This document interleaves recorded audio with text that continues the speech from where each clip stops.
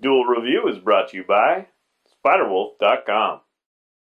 Hey guys, welcome to Duel Review. We got a great week, starting off with Rising Stars, followed by Persona 3, and then for our focal point, Roma, the tabletop game. That's right. Our anime this week is Claymore, and our movie is Plunkett Macleane. I'm RJ. And I'm Nick. Let's get to it.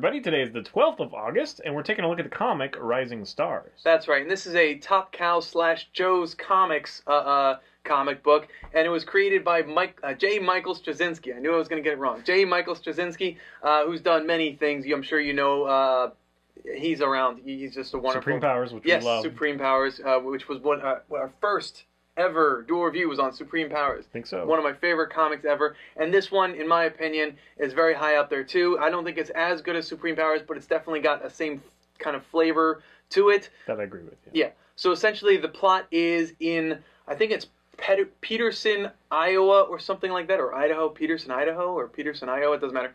Uh, a giant ball of light comes crashing down, and any child who was in uterus at the time In utero. in utero, thank you, in utero at the time is that's the term that they use. But essentially, if they were still in their mama's womb, um, they were given, uh, they were irradiated by this light, and they were given these powers. And there's a lot of question as to where the where the light came from, what it does. Um, but that's kind of not where the comic book focuses. It kind of focuses on the 113 kids born and believed to be supers, uh, people who who demonstrated super superpowers uh, in the early uh, days of their life. Um, so there's super strength, there's super speed. There's uh, one character who has like a giant light. You know, he, he just emits light, and he was an interesting character. Although I, I, I kind of wish they they didn't finish him the way that he finished, and I don't want to say exactly how that is. Yeah, don't. Yeah. So I, I wish that they did more with that character because he could have been a lot more interesting. Um, Telekinetic abilities are Yeah. just basically the stereotypical. right. Um, but it's all from one specific force. So it, the story follows these 113 as they either become heroes or they, they use the power for their own selfish gain or they decide that they don't want to use the power at all and just want to fade into society and become regular people. Uh, but there's also a whole lot of, you know, uh, what how the government reacts to it and you know what they do. Then there's you know uh, them fighting against each other, and then there's well I don't want to give that part away, but it's a little bit of the first uh, of the former uh, uh, problem. Um, so so that's pretty much Rising Stars in a nutshell. I think it's a great comic. But what did you think? Well, I, I did like it. There's a lot of content there to like. Having said that, I do have some issues. Now, you're talking about all. Oh, and there's this. No, that's pretty much all there is, at least for the first half of this comic. Right. Is all the government involvement and the kids, you know, kind of dealing with that and and you know figuring out their powers. There's different tiers at the beginning. You know, it's like the strongest are here and the weakest are here, and then some don't even have powers. And uh, it's it's just kind of one of those. You know, it's a slice of life, kind of interesting, but there's really no uh, action for the first like 11 issues. So I kind of have a problem with that. Just be, I'm, I'm usually the one that's like, take your time with the story, don't rush it. But they really should have used the opportunity to jump into a battle and then been like, three years ago or something like that. They didn't really do that. They didn't do any of that. They just slowly built it. And I guess I give them credit for that. But I found myself kind of bored for the first, you know, 10, 11. It's like, it's a great idea, don't get me wrong. And it does have definitely uh, the feeling of supreme powers. Uh, I think the art is solid. I think the writing is solid. But it's just so slow. So to, to quickly kind of interject, um, you don't think that the first eleven chapters did well as far as character development? Sure, they did, but you need more than that. Okay. You need more than just that. Uh, I I mean, because it's literally like reading a, you know, whatever. We're we're comic people. It's like I enjoy reading a novel too, but it was so slow, dude. You don't you don't agree that you don't see that at all? Because issue eleven is the first battle. Before that, nothing. Absolutely nothing. It's a comic about superheroes. That's that's not entirely true because um, there was the issue with Pyre and and Flag, who then became Patriot. Um, he was battling Pyre for a while. Not really. Yeah, it, it only happened once or twice, but yes, there was very little action before the first eleven comics. But then it goes in a completely different direction. That's what I loved about this comic is the fact that it goes from just just people trying to figure out who they are as far as their powers and who they are as a person and what their role in their life is, and then just flipping it into this kind of chaotic realm, Well, and then what happens afterward. you know, don't take me wrong. I agree with that statement. I, I do really enjoy this book. I just was so surprised that they held back so much for so long. And normally I would like champion them, but they could have done so much to make it more engaging at the beginning. That's all I'm saying. Right. Uh, for me personally, it was just kind of kind of drug on. Now I wanted to read it and it was interesting, and then finally when things started, to me it's like okay, the first like three issues uh, are completely superfluous. Pick one at random that serves the purpose of all three of them. I don't think you can argue with that because they're literally the same thing. They're exactly the same thing. They talk about the government program, and I'm talking about zero too. I'm, I'm throwing that in there too. Okay.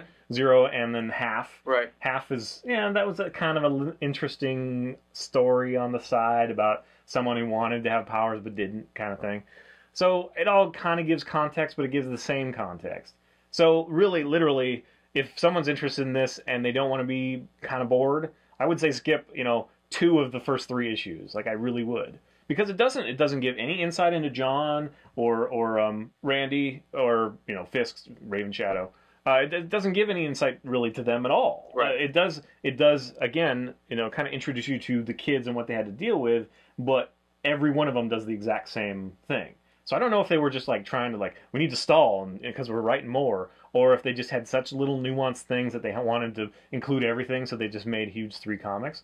I think that's kind of a problem, honestly. Hmm. But having said that, I really do enjoy it. Again, I really enjoy it. Don't give me you know shit for oh you, you can't look objectively blah blah. You want action? You're a movie star or whatever. I enjoyed it. I just think that they really could have used the opportunity to have something else as a catalyst to get you through those books. Right. That's all I'm saying.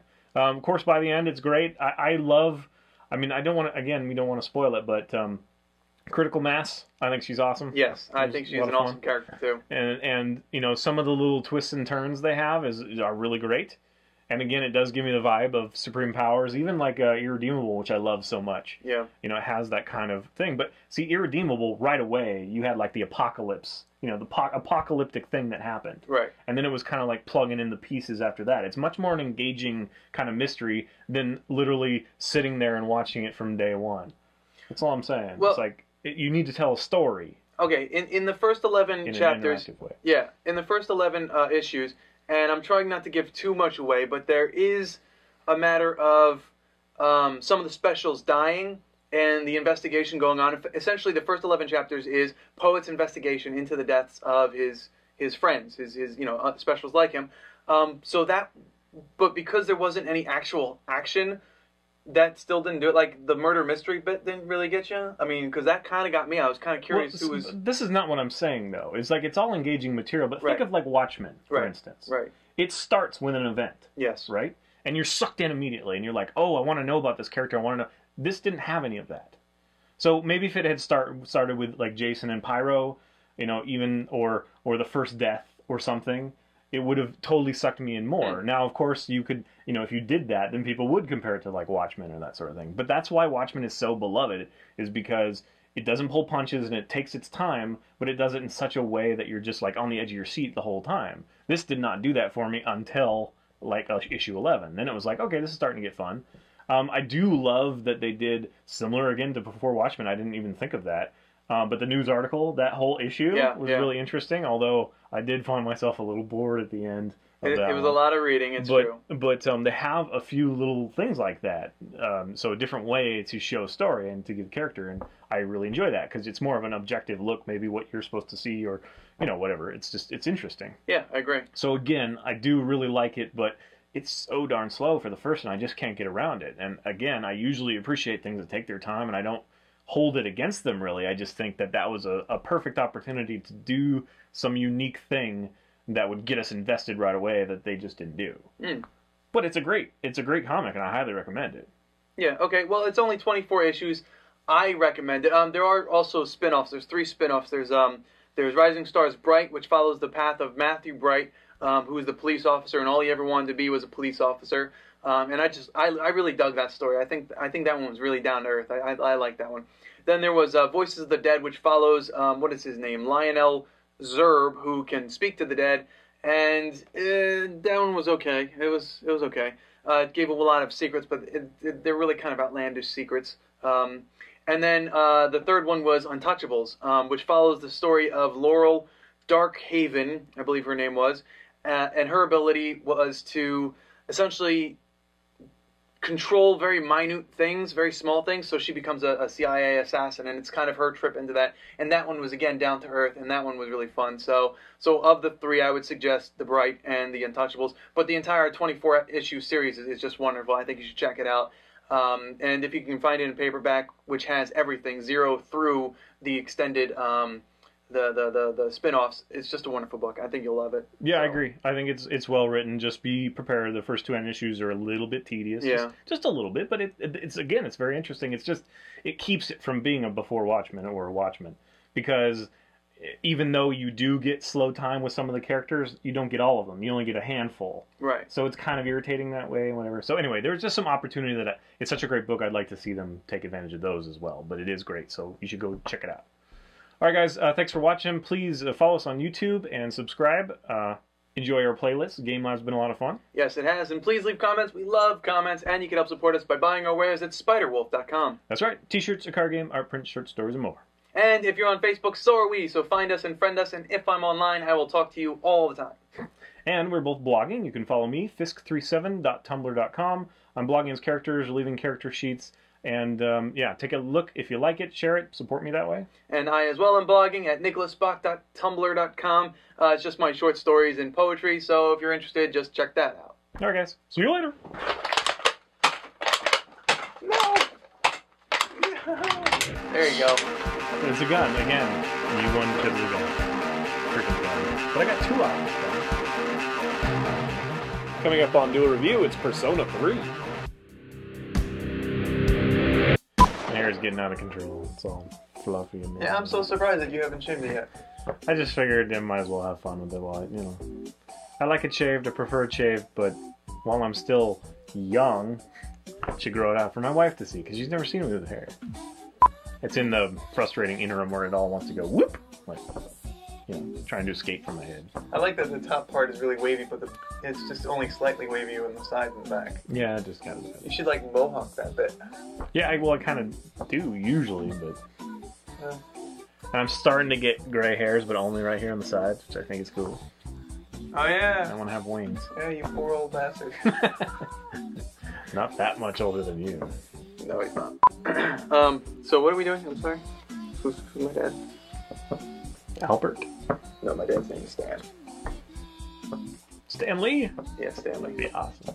I like the name Stanley. I, I want to name my kid Stanley, but my dad is my dad is Stanley Townsend Bach. No, it's Stan Lee. Oh, Stan Lee. Stan Lee. Yeah. Well, then it would be Stanley. Stanley Lee Bach. Stanley Lee Bach. I like the name Stanley. I think it's a nice, solid name that most people forget about. You know, forget to use as baby names. You know, when they're thinking of kids. And Butch. But I don't think I would need Bruce. Bruce is a nice name. Yeah, not these days. Why are you laughing? I had Come a- on, Butch. My uncle's name is was Butch. Well, what if it, you know, that your your son is slightly effeminate for a while? Everybody's gonna think you're just a horrible person. This is my gay son Butch.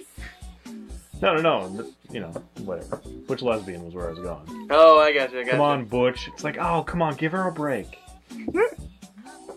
You wanted a son, didn't you? He has a son. He has a See? Just Hold because he wears dresses. telling you, I kind of understand. What? Um, the female, you know, wardrobe is much more elaborate. You know, I I've been thinking about doing some cosplaying and like costumes that I would make, and the girls are so much cooler than the guys. Like anything that a guy would wear is just you know plain and. and We whatever. also can play off the fact that they're a girl, right? You can do the, you know, kind of hard, hard edge, but it has soft, obviously, because she's a girl. Yeah. So it's like, ooh, interesting. Yeah. Or if it's, it's a guy, you know, you can't do the opposite, like do soft. You're just like, ugh. Yeah. yeah. Well, most of us are. I can't. I can't do anything soft. It would look horrible on me. Have like a ruffled, you know, thing and like ruffles on your sleeves. Yeah. I don't even know what you do. They're all boring. Yes. Anyway, Men's clothes are men's clothes are boring. But I look good. we should wear we should wear a shirt that says that. Men's clothes are boring. Yeah. But I don't know what kind of. Actually, that would just work by itself. Men's clothes. Just literally, just men's clothes are boring and nothing else. Yep. I agree. That's what we should do. New shirt idea. Write that down.